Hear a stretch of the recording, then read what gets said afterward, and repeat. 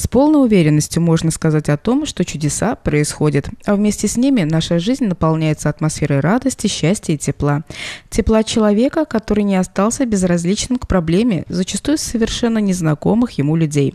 К такому выводу пришли девушки и юноши, представители Даугавпилского молодежного отделения Латвийского Красного Креста, которые в преддверии рождественских и новогодних праздников организовали благотворительную акцию «В этом мире есть любовь», а 21 января подвели ее итоги.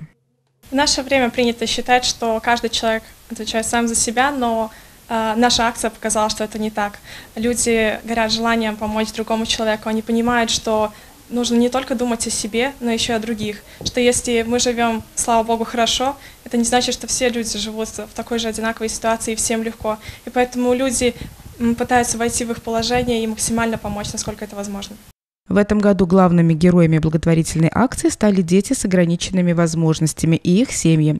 В течение полутора месяца волонтеры Красного Креста собирали пожертвования и новогодние подарки для этих ребятишек, которые тоже очень любят праздники. А кто самый отзывчивый? Э, молодые люди, ваши сверстники, э, взрослые люди, бабушки с дедушками?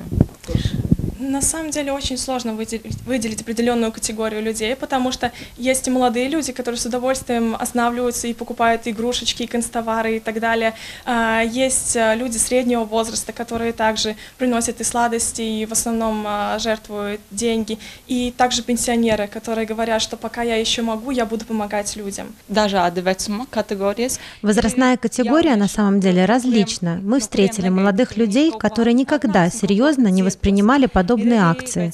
И вдруг они стали ее участниками. Несомненно, сделали очень хорошее дело, и в первую очередь для себя. Участие в благотворительном марафоне приняли предприятия, частные компании, муниципальные учреждения и частные лица. Сообща было собрано 2278 евро. Особенно хочется отметить Даугавпилский пенсионат, работники которого собрали 280 евро. Не остались в стороне от акции трудовые коллективы дошкольных учреждений.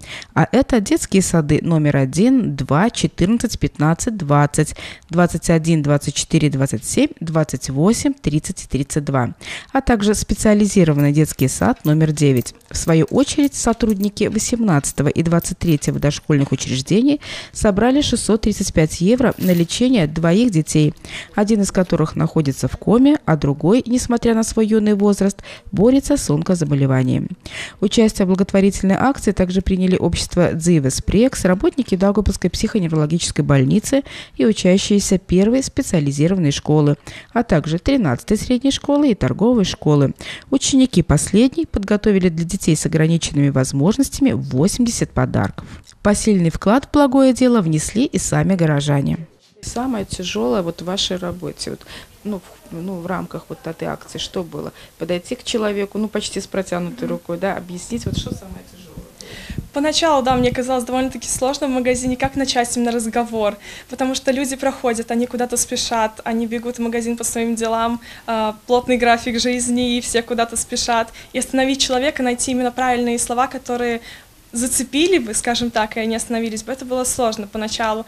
Но потом мы стали обращаться к каждому человеку, и было очень приятно замечать, что э, очень много людей останавливаются, как минимум выслушают, а как максимум многие люди приходили и действительно приносили сладости, и даже много сладостей, или э, клали денежку. Я полностью согласна с Дианой. Когда я стояла возле магазина, мне тоже было сложно начать разговор с незнакомыми для меня людьми. Но раз от раза, начиная эту беседу, становилось все легче, ибо наши люди на самом деле очень отзывчивые. Приятно было это видеть и радостно осознавать, что люди готовы прийти на помощь чужим людям. Все собранные в рамках благотворительной акции средства в виде материальной помощи будут направлены 100 даугавпилским семьям, на воспитании которых находятся дети с особыми потребностями. Лариса Кириллова, Александр Хлестов, телевидение Доутком.